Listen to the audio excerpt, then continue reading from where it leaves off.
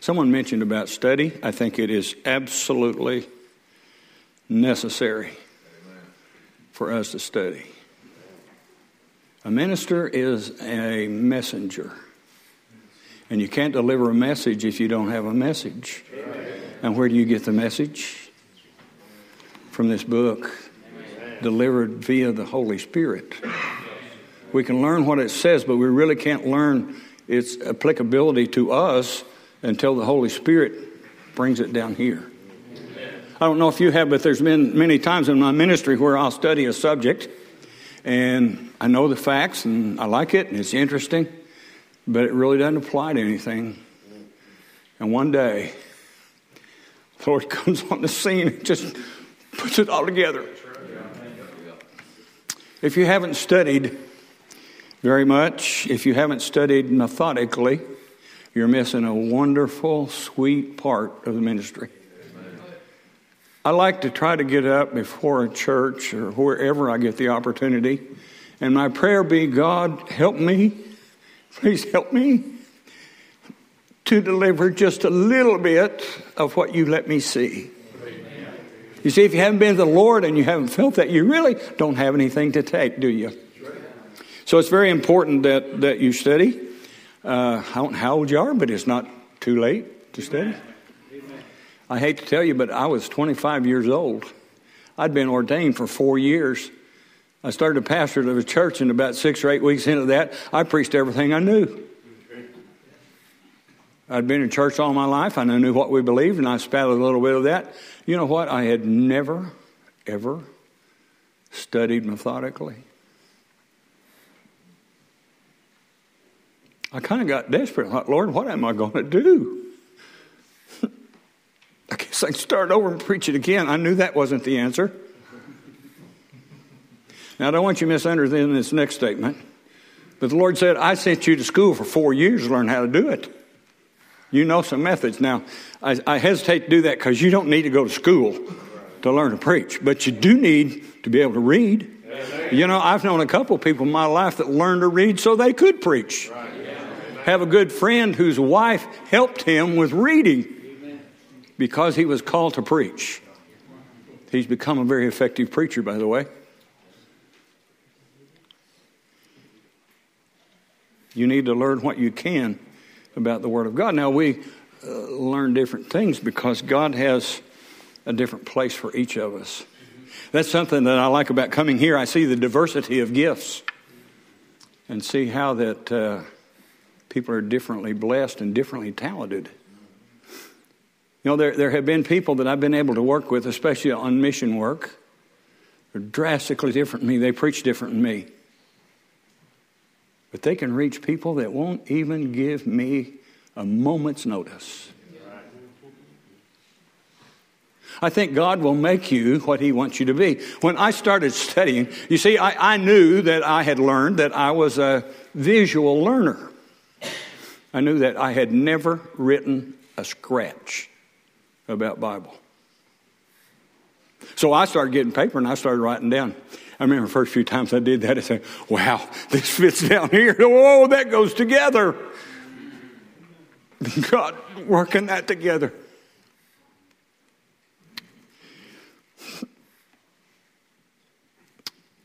You may not use that method. I don't want you to preach like me. I don't want you to preach like anybody here. I want you to preach the way the Lord wants you to preach. You know, I don't make any bones about it. I, I, I started doing that. And, uh, you know, I was a teacher and I was a lesson planner. And so I sit down and I made sermon plans. I outline. I outline to this day. I will probably outline until I die. That doesn't mean that sometimes the Lord will move and you, you, you got to speak, but, but I'm not recommending that to anybody. I feel holy that I, completely, not wholly that way, W H O. I'm wholly aware that that's the way the Lord wanted me to preach. He's the one that taught me that. And so I don't apologize for it. I will never, ever offend you on purpose, okay? If I know somebody's not into that sort of thing, uh, I'll memorize a short outline. I will memorize an outline. And, uh, but I, will per, I'll not offend you. Uh, I'll try not to. But you've got to preach the way that the Lord wants you to preach. He will make you into what you need to be. He doesn't know where you're going to go next week or next year or 10 years from now. I don't know where I'm going to be next week or next month or five years from now. He does. And brethren, I have seen him prepare me in ways that I had no idea what was going on. Wow, there it was. I needed what he had taught me. I needed some method. He's put me in jobs that prepared me for, for this that he'd had me do. The deal is that you, the, the big thing is that you surrender yourself to the will of God. You know, I'd uh, like to preach that rich sermon today. I, I tell you, the Lord, uh, I'm, I'm awful slow about saying the Lord showed it to me because they don't make a mess of it and I kind of, you know, the Lord gets accused of a lot of things he's not guilty of, and I don't want to do that. But I sitting over here, I think last year, very last part of, this school, and this, uh, I thought about this. Here's the notes I jotted. You know, I don't remember anything. Here's the notes I jotted down, and uh, I couldn't get away from it. Now I don't know about you, but when I was younger, once in a while I wouldn't want to. I remember a time or two. I, I, I, I just, especially in my pastor, you know, I, I, I don't want to preach that, and so I'd try something else. It don't work. It does not work. You get yourself in trouble.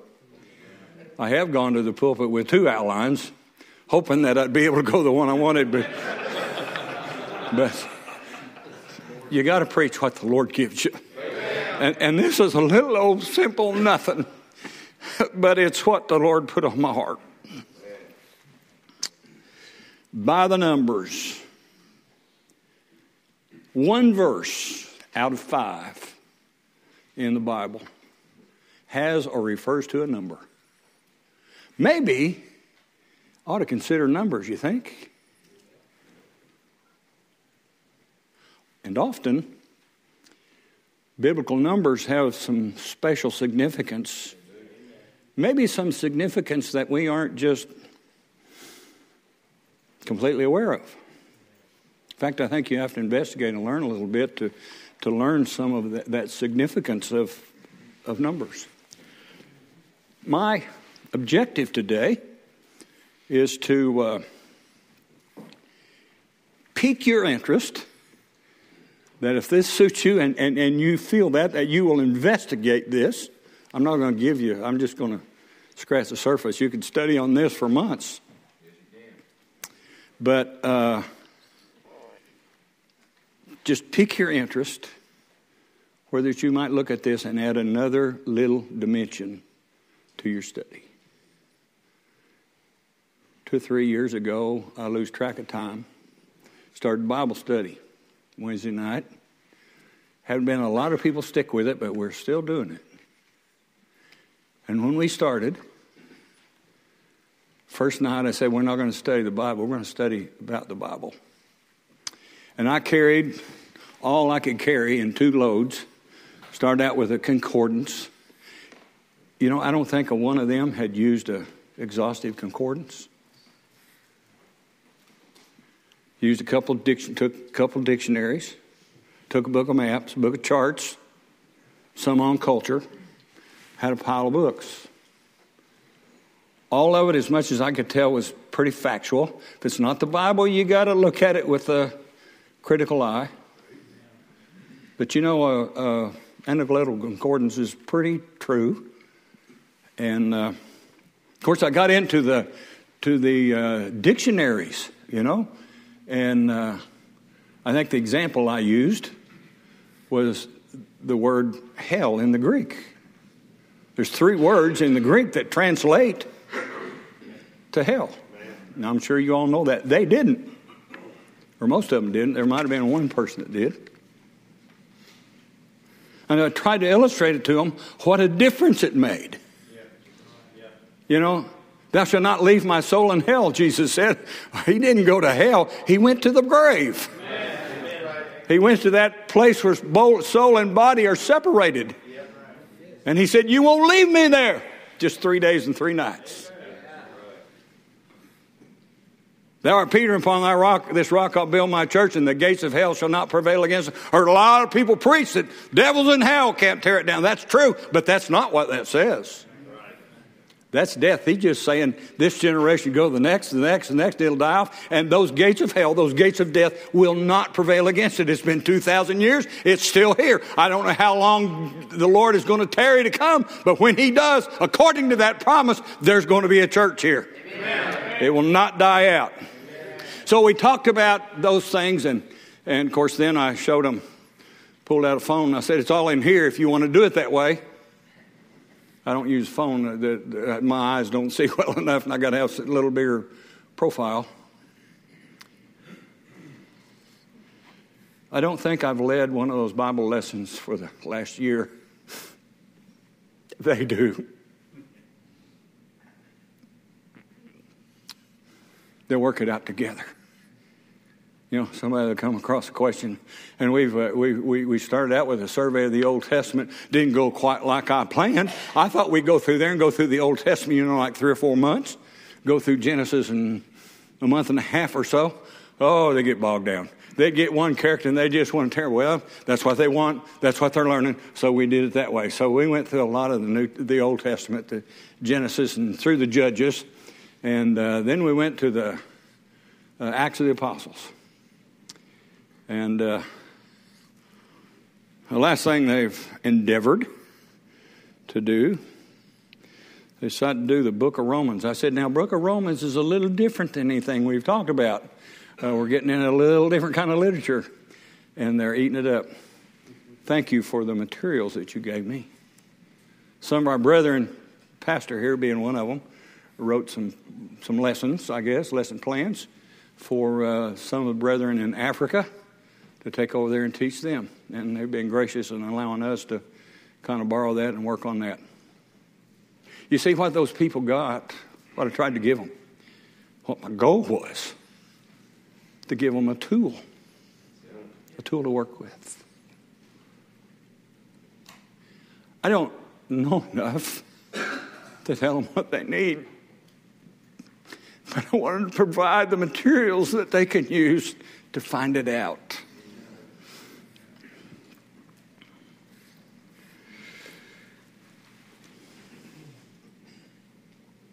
Arabic numerals, you know what those are 1, 2, 3, 4, 5, 6, 7, 8, 9, 10.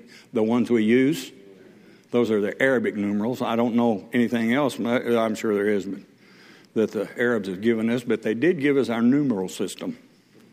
Oh, by the way, a numeral is a figure, letter, or group of any of these expressing a number. What you write is a numeral. The concept is the number. Understand that? No. Got blank looks. The numeral is a name. It could be a Roman numeral, it can be an Arabic numeral, it can be T H R E E. That expresses the idea, the idea of that quantity. You really can't see a number it's a concept. It's just a concept. The Arabs, I'm sorry I don't know a lot of this history, some of it, uh, they developed uh, the Arabic numeral system that we use about the 7th or 8th century. It did not get into Western culture until the 9th or 10th century. Now, this is according to Britannica. If you look at other sources, it uh, might be a little different than that. What we can be certain of is that the Holy Bible, the Old and the New Testaments, were not written using Arabic numbers. oh, already messed up numerals. They were not used, the Arabic numerals had not been invented, written, whatever you want to say. They didn't exist yet.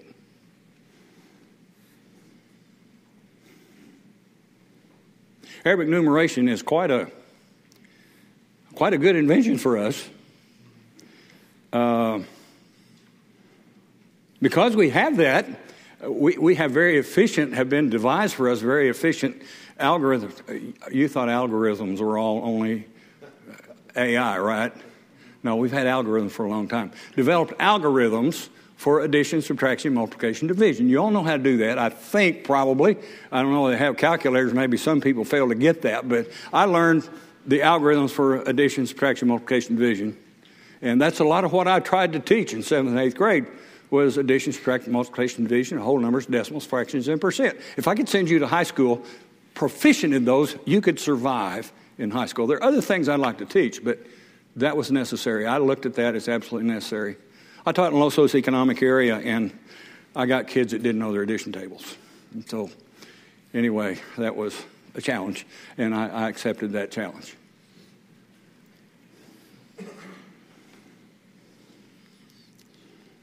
That is quite an advantage. If you don't think so, take some Roman numerals and try to do long division. Okay? I want to talk about gematria. Anybody ever hear that term? You need to know this. This is the one thing in this presentation that you really need to learn. Gematria. As mentioned earlier, the use of special symbols to represent numbers, numerals, is relatively new. We don't use those symbols we have for numerals anywhere else, do we? They're dedicated to numerals. Okay? That's relatively new. The ancients used letters of their respective alphabets to represent various values. This is indeed true of both the Old and the New Testaments, written in, of course, Hebrew, Chaldee, and Greek.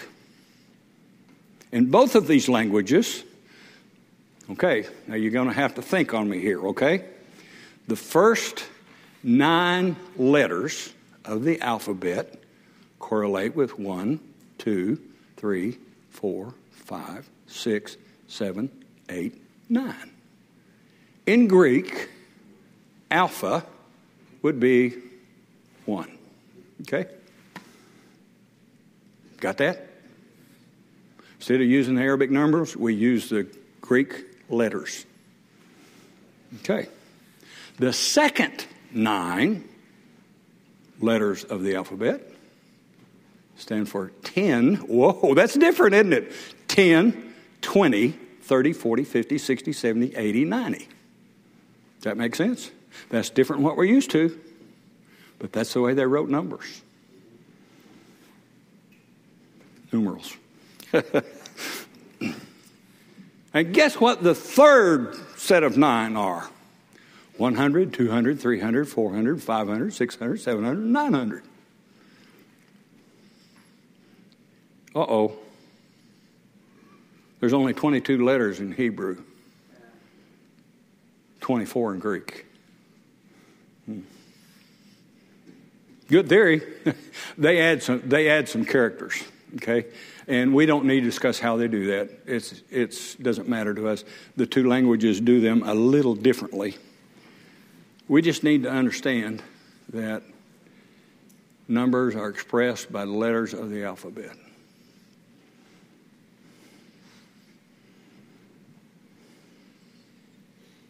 If you will take a word in Greek or Hebrew, and you take the letter, you take the value of that letter, and you add them together, you got the value of that word. You know that's used a lot in the Bible. You're familiar with one of them. How about the number of a man? 666. That's where that comes from. It's called gematria. Gematria. And it's used throughout the Bible. Let me give you a couple of examples. These are both from Greek. The first one is the name of our Lord. And the English equivalent of this is I E S O U S, Jesus, okay?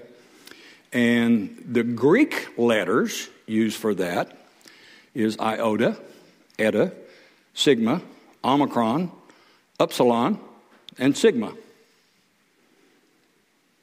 Iota is 10, eta is 8, sigma is 200, omicron is 70, upsilon is 400, sigma is 200.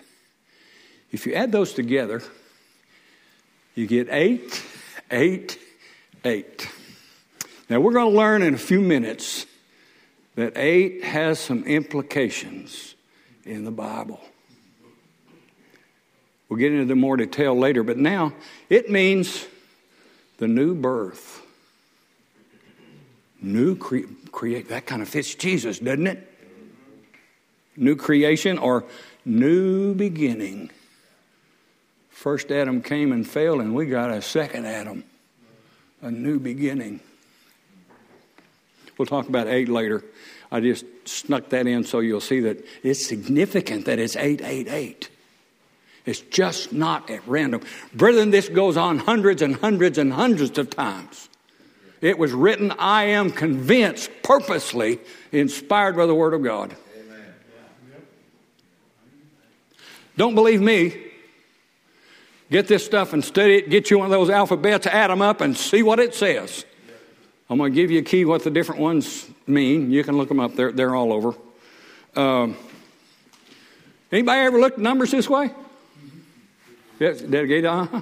You need to look at it. It's, it's, it's worth your time. It might be valuable to it, and you might not, but I think some of you might find some beautiful things. Oh, the other example I have is uh, amen, which is sometimes uh, translated verily. The English is just exactly the way we spell it A M E N, and the uh, Greek letters are alpha, mu, eta, and nu. And they are 1, 40, 8, 50, to add up to 99. What does 9 signify? Finality or divine completeness. That kind of fits, doesn't it? Okay?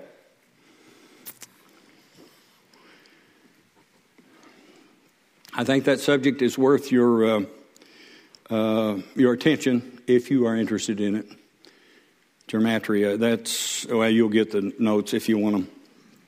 Uh, we'll talk about the specific numbers later. Before we get to that, I want to I, I want to talk about another thing that just it, it just uh, really gets me here. Um, when I taught uh, I, I, taught those algorithms I was telling you about, you know, the addition, subtraction, multiplication, division, all that stuff. I was picking up what they hadn't learned before. They should have had all that introduced. They did get to introduce one thing in seventh grade, and that was we called it integers because that's the simplest kind of, uh, of numbers. But uh, negative numbers is basically, they learned for the first time that we have positive numbers and negative numbers. And I learned how, I got to teach them how to maneuver those and how to combine them. So, to facilitate that, back behind me, above my chalkboard, I had a number line. Zero was right above my head, and every once in a while, at even intervals, there'd be a slash mark, and beside that would be a, a under that would be a title, plus one, positive two, positive three. That's your right, yeah, and negative that way. That's the way it came. I added something to it. On each end, I put an arrow point. Why would I put an arrow point? Because that number line doesn't end at the end of my room. It keeps going. Keeps going this way. I used to ask my kids, what's the biggest number in the world? They discuss, you know, gazillion, da da da da, all that stuff. I say, well, I'll add one to it. I got a bigger number or I'll multiply it by two, or I'll multiply it times itself, or I'll multiply it times itself as many times as it is. Hmm. That's called infinity. Kind of like God, I think. No beginning and no end. Goes on forever and ever. My mind can't really fathom just the idea of infinity. You know, it, it, uh, it, it, doesn't stay close around because the, the, the, the, Earth's around, so it just go, goes out into space. Some galaxy out there 12 billion light years away, it, it goes that far. It goes that far from beginning to end.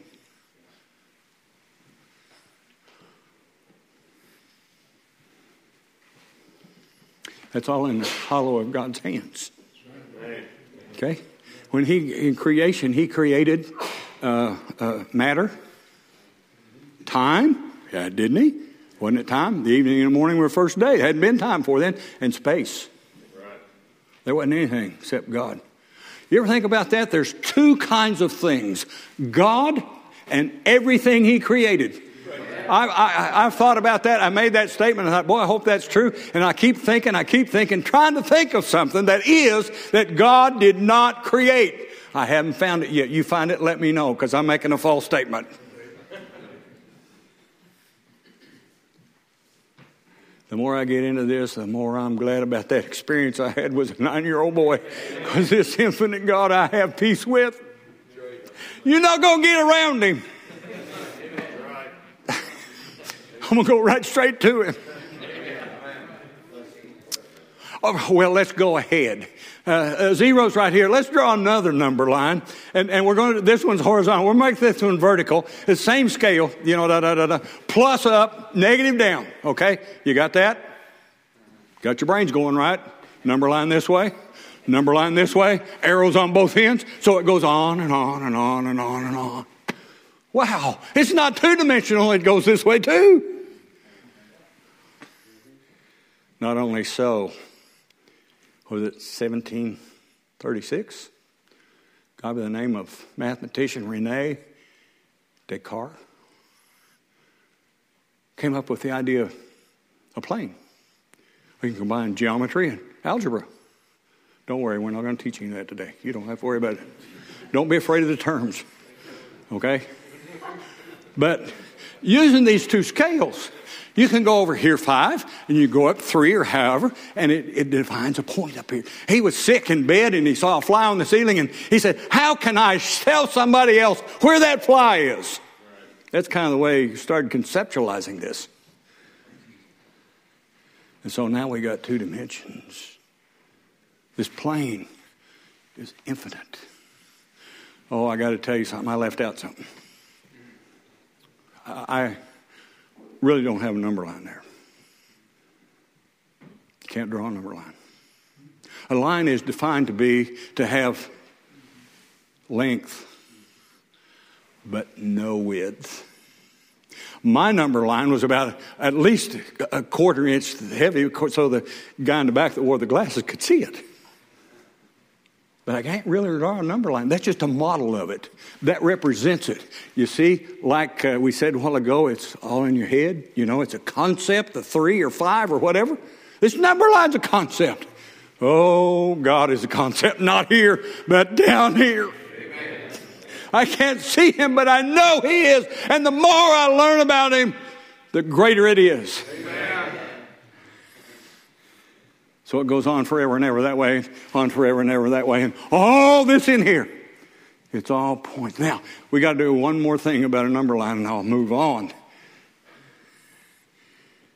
Let's take the first number line zero and one. Okay? I can go one half, one over two, one over four, one over eight, one over 10 billion. Hmm. How far can I go? As far as that number is over there, my denominator can be that same size. In other words, I, I, I can get infinitely close because a number line doesn't have width, a point has no dimension. How can I talk about something, understand it? It has no dimension. It doesn't exist as far as eyes are concerned. Oh, a lot of people say there's not a God, but we know there is. Amen. These are just little little ideas about arithmetic and all, you know. Oh, how much greater God is. Amen.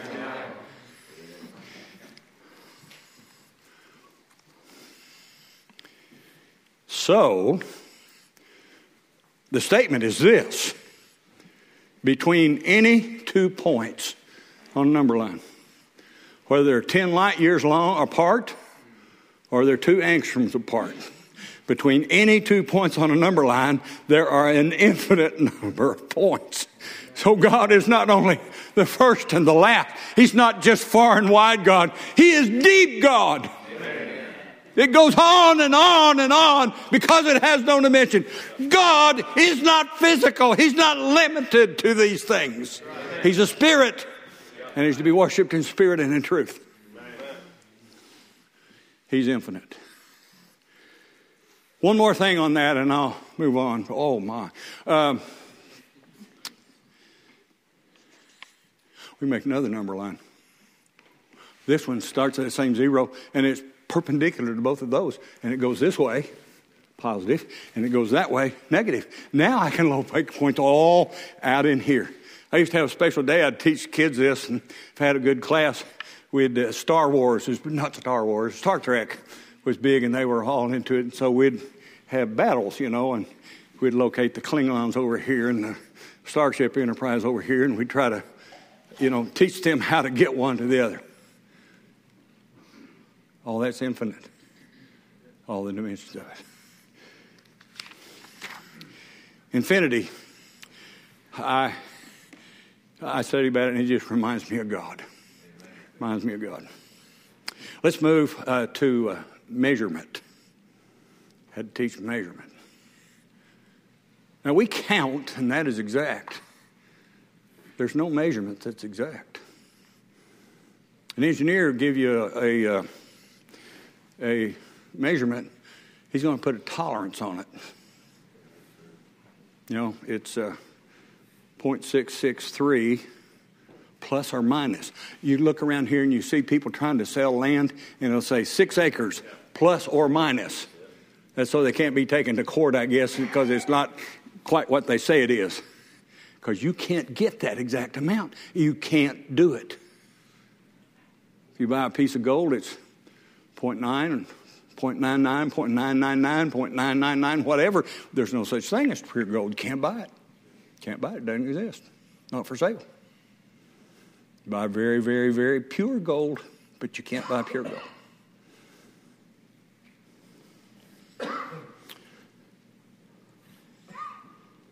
God is exact. God is exact. If, if two people want to compare their measurements, they have to have a common or something that they agree on uh, unit of measure. Uh, we use the foot, probably some king said, measure my foot, that's the, that's the unit of the land, okay? Most of, the, most of the world now uses a metric system. And before, I think it's 1983, a metric, uh, one meter was defined to be one ten millionth of the distance from the North Pole to the equator going through Paris, France. And uh, the problem with that is, you know, I've crossed the equator going to see Brother Tom and uh, I didn't see it written on the ground anywhere. Kind of hard to tell exactly where it is. So now they define it quite differently. I, I don't even know if I want to try to read it or not. Uh, it's uh, how far light will travel in approximately, and they name it much more exactly this, but in approximately one three hundred millionth of a second, measured in a certain way. I, have got all. You, you want to look at that? You can come look at it. It'll be in the notes. But the thing is, everybody, every person with a sophisticated physical physics lab uh, has their own standard of what a meter is. The great measurer is God. He's going to measure everybody one of these days. He's going to be exact. He's going to be exact. What's the standard? Hmm. Well, God's people were kind of accused by God one time of measuring themselves by themselves. we can get whatever answer we want if we use ourselves. God's not going to use us. I have in my mind what I think He's going to use. He's going to stand you right there for judgment. And He's going to stand you right next to the holiness of God. You say, well, nobody is that good. Amen. These people say, I hope I'm good enough to go. In all probability, they are not. Amen. Oh, but there was one man. Amen. There was one man who did measure up. So much so that the Father himself said, This is my beloved Son in whom I'm well pleased. Amen. Yeah, yeah, yeah. That's what you got to have. When, oh, I need an hour and a half right here. Uh, but, but y'all know, this just goes into the fact that Jesus died for us.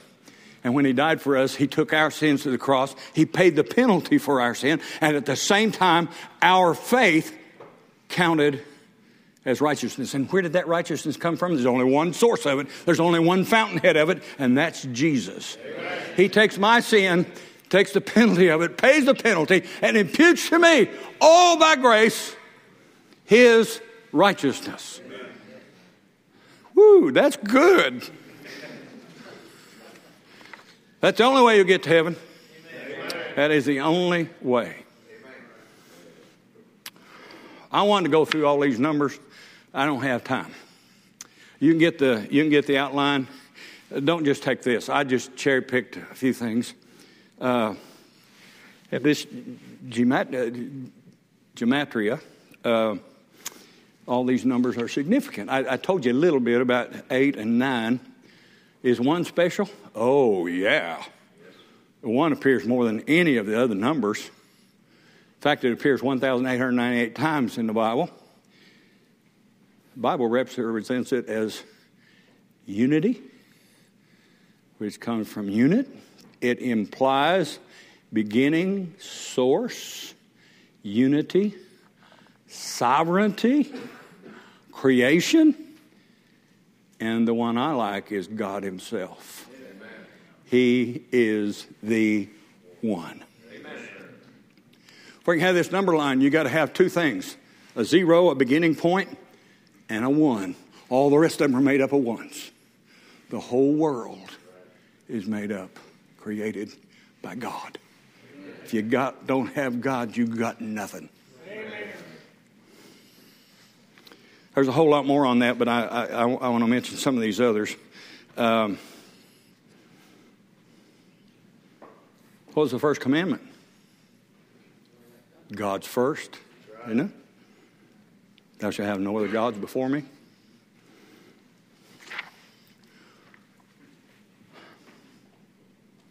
We spend 30 minutes on one. Let's go to two. Hmm. Two means a couple of things. Number one, it means union. Took two things and put them together. Secondly, division.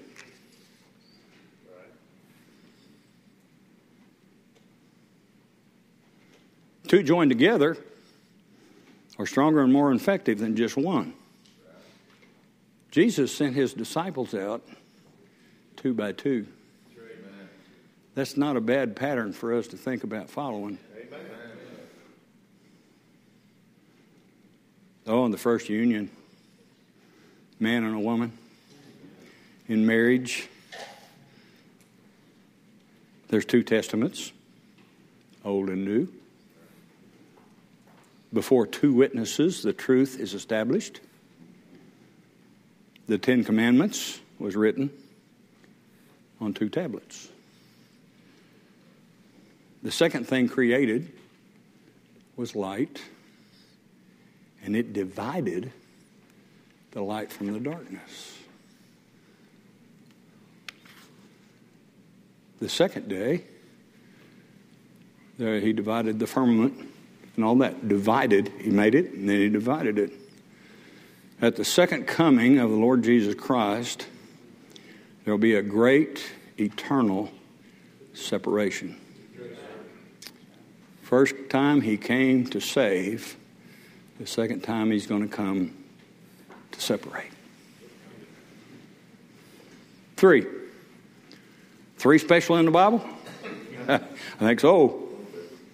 Yeah. It means resurrection, three days and three nights. That's not half days. It's not Friday night and Saturday and a little bit of Sunday. It's three days and three nights. Amen. Divine completeness and perfection. God often works in threes. Somebody mentioned something a while ago the death, burial, and resurrection is our, the crux of our gospel. Took all three of them. How about God was, is, and always shall be? He is the way, the truth, and the life. Jesus, when he was here in the flesh, raised three people from the dead. He was crucified on the third hour. There was three hours of darkness, as we've already heard today. A lot more on that. Four. Oh, that time, I don't know what happened. I thought I'd have to fluff at the end and put fill in. I got a whole bunch of fill in back here. Um, four. Creation and the world. A lot of things in creation are in force north, south, east, and west earth, air, fire, water, spring, summer, autumn, winter, so on and so forth. I thought it was interesting. David or Daniel, uh, there was a dream in Daniel, and that pointed to uh, four kingdoms: Babylon, the Medo-Persian, Greece, and Rome. These were earthly empires ruled by men. But there came a fifth one that was ruled by God, which will bring us to number five. Number five indicates grace or God's goodness. Again, I don't have time to, to, to go into these. Uh, you'll find in, in the notes that there are uh, five offerings in the temple, in temple worship. And uh, I have them named, and you can look them up if you want. Oh, change gears a little. Six. Is God's number? Lack seven. It's less than seven. Of course, we know that it's uh, assigned to the to the devil.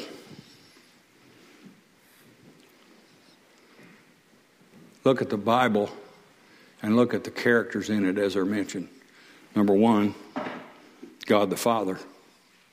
Number two, God the Son. Number three, God the Holy Spirit. Number four, Adam. Number five, the woman. Number six, the serpent. Maybe it's coincidence, I don't know. I don't think so. You might.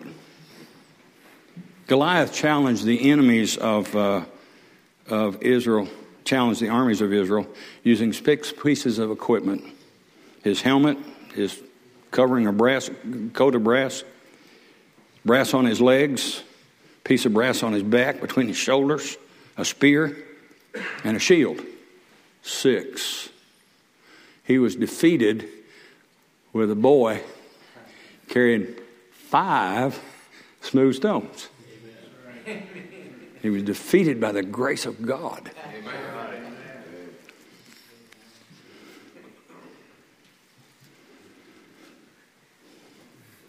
When the, uh, the Israelites were in the wilderness, they began to yearn after the things they had left behind in Egypt when they got unhappy.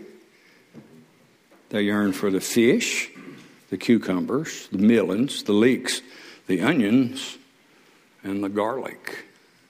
The Bible lists six. Coincidence? You said, I don't think so. I think there's a whole lot more to this than I'm getting out. I just want to introduce you to the subject to pique your interest so that maybe you might choose to use this in your studies. Seven, we all know about seven, don't we? God put seven days in the week. You know, the, the, the, the uh, month is determined by the moon, the, the, the year is determined by the revolution around the sun, the rotation of the earth on its axis is the day. There's none of those that determine Seven days a week. Why do we have seven day a week? God said so. God said so. A time or two in history they've they've tried to change that and it didn't work very well.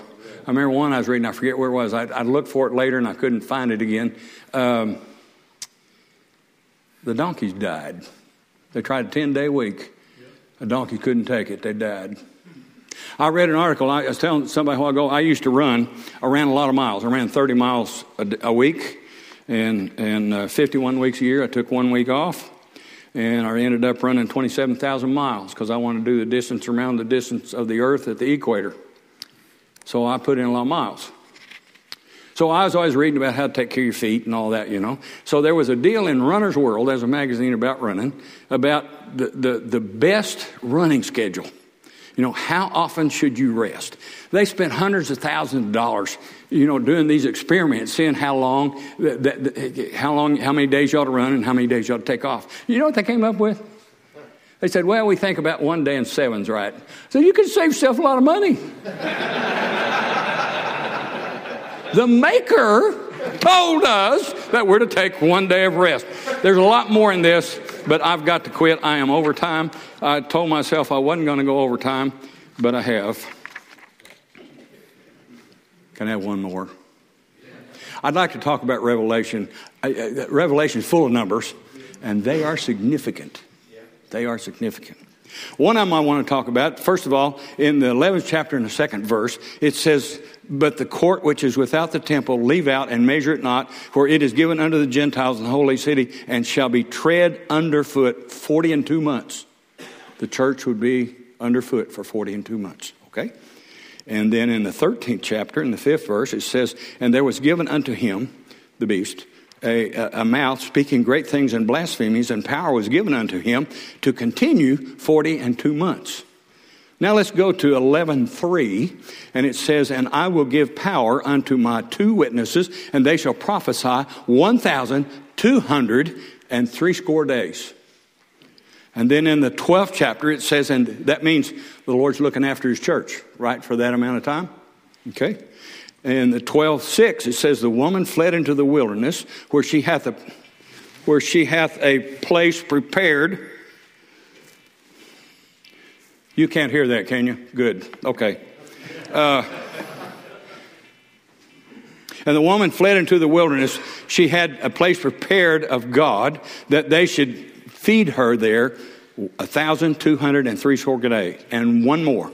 And the woman was given two wings, in other words, escape, of a great eagle, that she might fly into the wilderness, into her place, where she is nourished for time and times and a half time. Two of these are speaking about the punishment of the church by the devil. What's the word I'm trying? I'm not coming up with the word. Boy, words, they're getting away from me anymore. Uh, persecution, I guess, would be the word I'm looking for persecution of the church. Both of those are 40 and two months.